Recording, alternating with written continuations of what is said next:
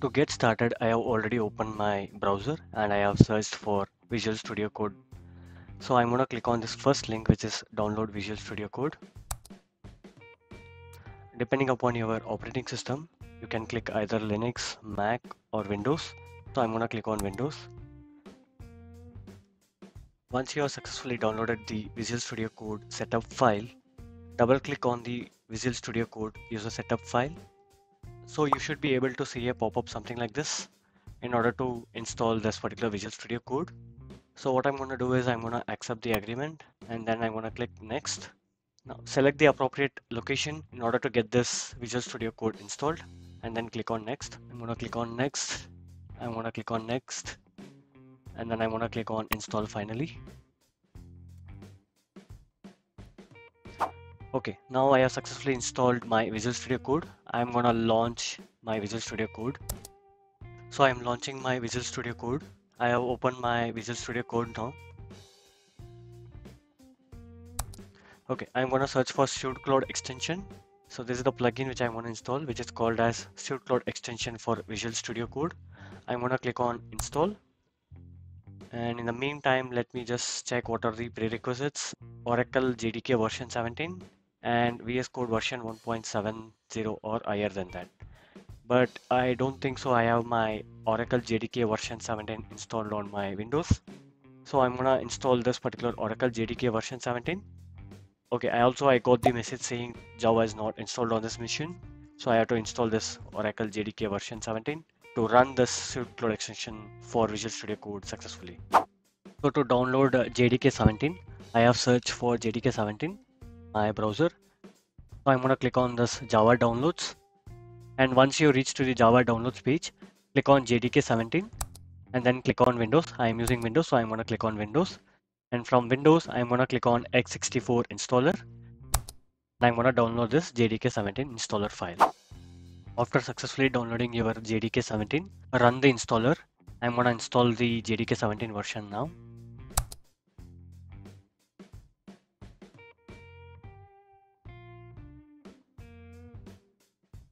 So I have successfully installed my JDK 17.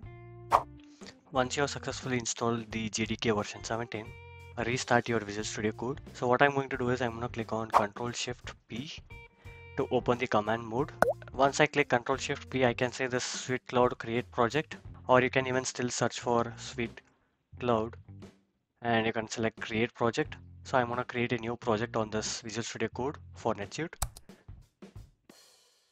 and select the appropriate folder in your system. And then click on account customization project. I'm going to create a customization project not this app project. So i'm going to click on account customization project. And then it will ask for project name. I will provide sweet scripts. And i'm going to click on enter. I don't want to include any testing framework so i'll just click no. Right now it's creating the new project structure and there is a pop-up now which says projects can be opened in a new window or replace the project in existing window. I'm going to click a new window. Let me expand this particular visual studio code to fit the screen. And now i can see there is no account has been set up for this project. So it says this particular project has not been linked with your NetSuite account right? So right now this is the structure for this SuiteCloud project. I can see a main source folder and within that there are multiple folders like account configuration, file cabinet. I'm going to work on mostly SuiteScripts now. So we'll just expand the file cabinet. Now I can see another folder called as scripts. And there is a default file here, which is manifest file. We'll not worry about that. This is mostly used in SDF related purpose. So we'll just close this file as of now. So as a next step, we're going to link this project to our NetSuite account. I have already logged into my NetSuite account. And how are you gonna link this particular project folder which is in your Visual Studio Code to your NetSuite account, right? So we're gonna create some kind of integration between this Visual Studio Code and your uh, NetSuite account by using this plugin called SuiteCloud Extension plugin, NetSuite plugin. So I'm gonna go back to the project structure and I'm gonna click Control Shift P and I will click Setup Account so before running this command, select a file from the current project folder structure. So right now I can see one file which is manifest file. I'll just click on this file So now I'm going to click Control Shift P and I will click Setup Account. I'm going to click New Authentication ID from here. And then it's asking me to select browser-based authentication or you want to use token-based authentication. So I'm going to click token-based authentication. It's asking me to enter an authentication ID now. And I'll click enter. Please enter to use the production domain system.netsuite.com. So right now I have a test account which is a production kind of account. So I'm gonna click enter. It's asking me the account ID. You can usually find it under setup company and under company information. And I'm gonna paste the account ID I'll click enter after providing the account ID. It is asking me the token ID, but I don't have any token ID. I'm going back to NetSuite.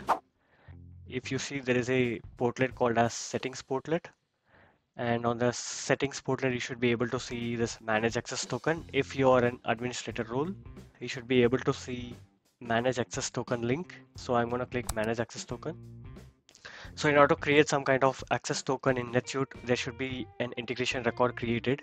So I'm not going to waste my time in creating the integration record in NetSuite.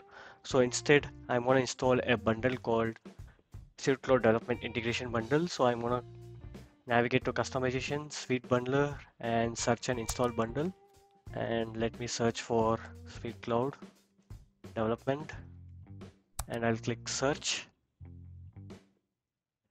and the first one which says SuiteCloud Development Integration and the bundle ID is 245955 so I'm going to click on that. To be frank I have already installed this particular uh, SuiteCloud integration bundle already in my account. So still I'm going to click on install. And if you see the preview of this particular bundle it is going to create an integration record. So I have already installed this particular bundle and both the versions are same so I'm not going to update this particular bundle. So I would suggest you to install this particular bundle.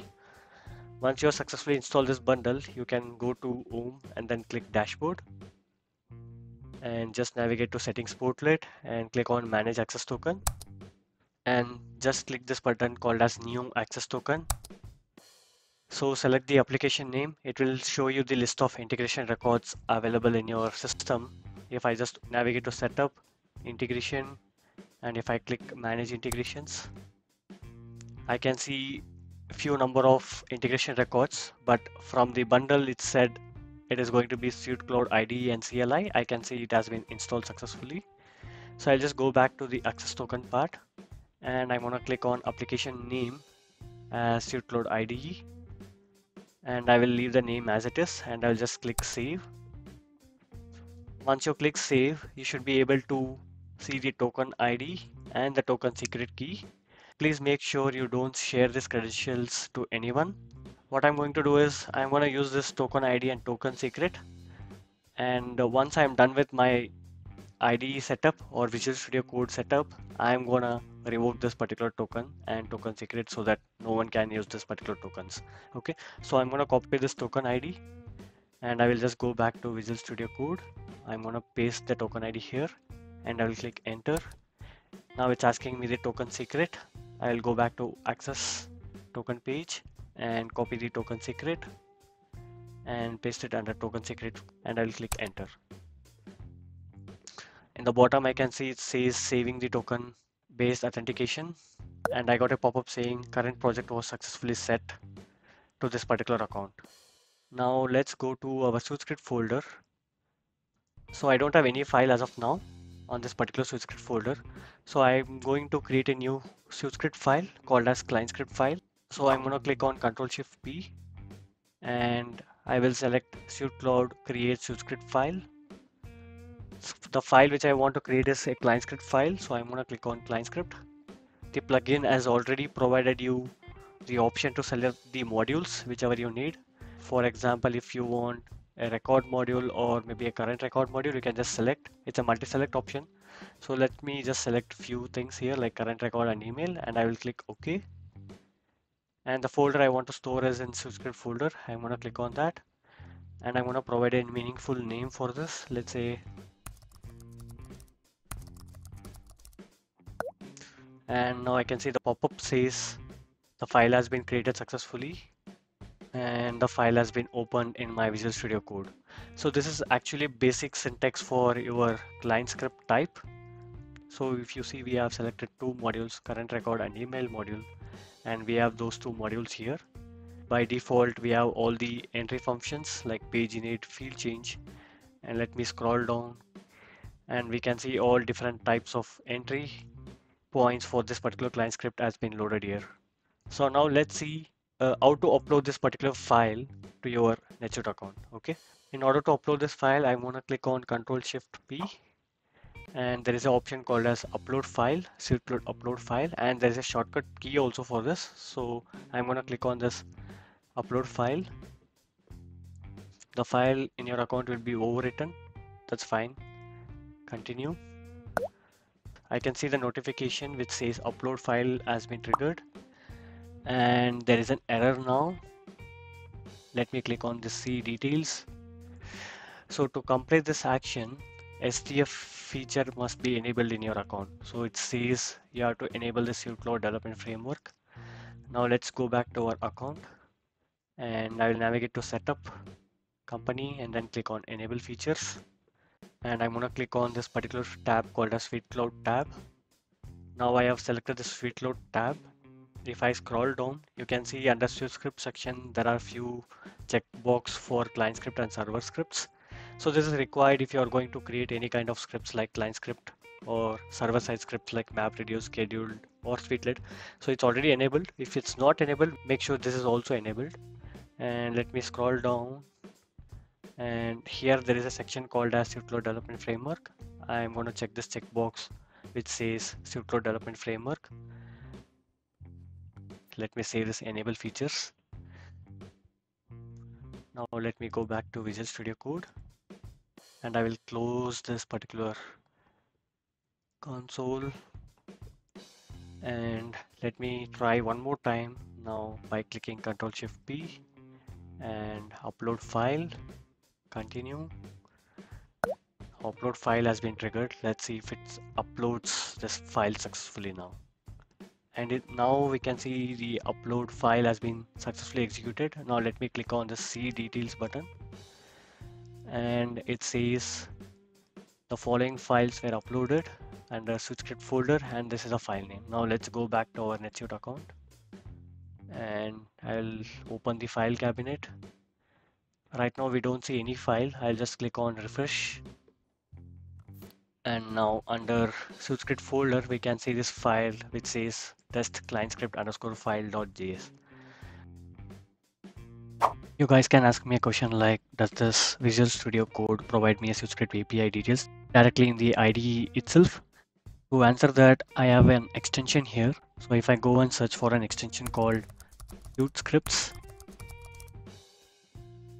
and there are multiple extensions like SuiteScript 1.0 snippets, but I use this Suite snippets. So this particular Suite snippets extension provides a lot of options. It's pretty helpful, so you guys can give it a try on this particular Suite snippets extension on Visual Studio Code.